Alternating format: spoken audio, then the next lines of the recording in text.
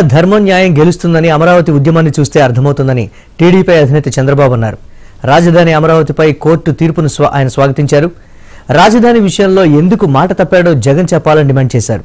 జగన్ తాడేపల్లిలో ఇల్లు కట్టుకున్నాడని రాజధాని ఇక్కడే అన్నారని మూ- త్రీ క్యాపిటల్ అని ఇప్పుడు మూడు ముక్కలాట మొదలుపెట్టాడని చంద్రబాబు గుర్తు చేశారు. పశువులు కూడా వీళ్ళతో పోలిస్తే ఒప్పుకోవని ఎద్దేవా చేశారు. రాజధానిలో ఒకే వర్గం అని తప్పుడు ప్రచారం చేశారని మండిపడ్డారు. ముంపు లేని చోట ముంపు అని ప్రచారం చేశారని కృష్ణానది పక్కన ఉండే భూమిని శ్మశానం అన్నారని చంద్రబాబు ఆవేదన వ్యక్తం చేశారు. రాష్ట్రాన్ని సర్వనాశనం చేసే అధికారం ఎవరిచ్చారండి మీకు?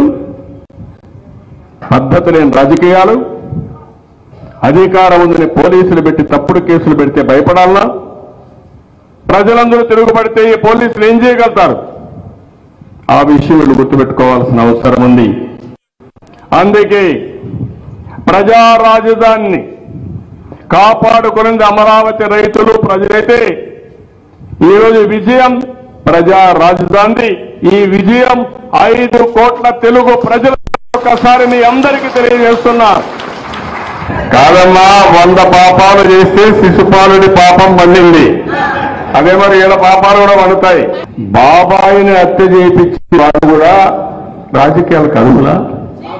హత్యా రాజకీయాలు చేసేవాళ్ళు రాజకీయాలకు అర్హులా ఓకే జగన్ రెడ్డి చెప్తున్నాడు నాకేం సంబంధం లేదని.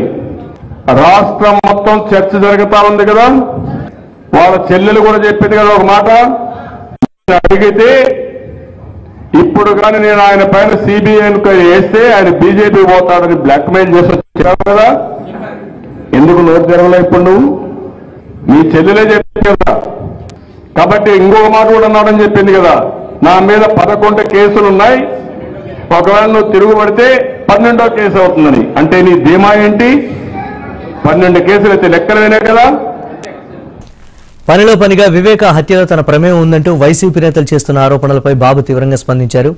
ఏం జరిగినా అందుకు తానే కారణమని వైసీపీ నేతలు అంటున్నారని చంద్రబాబు మండిపడ్డారు. సిబిఐని కూడా నేనే ప్రభావితం చేశారంటున్నారు వాళ్ళు. చివరికి మొగుడు పెళ్ళం కాపురం చేసుకోకపోయినా నేనే కారణం అంటారేమో అని సెటైర్లు వేశారు. బాబాయిని హత్య చేసిన వాడు రాజకీయాలకు అవసరమా? శిశుపాలుడికి కూడా వంద తప్పులు చేశాకే పాపం పండినట్లు జగన్ రెడ్డికి ఇచ్చిన ఒక్క అవకాశం ఇక చివరి అవకాశమేనని జోస్యం చెప్పారు. సిబిఐ విచారణ చేస్తే అవినాష్ రెడ్డి బీజేపీలోకి వెళ్తారని జగన్ అన్నారా లేదా? చివరికి ఇప్పుడు వివేక కూతురిని కూడా నా పావు అంటున్నారని చంద్రబాబు ధ్వజమెత్తారు. చేస్తే శిశుపాలుడి పాపం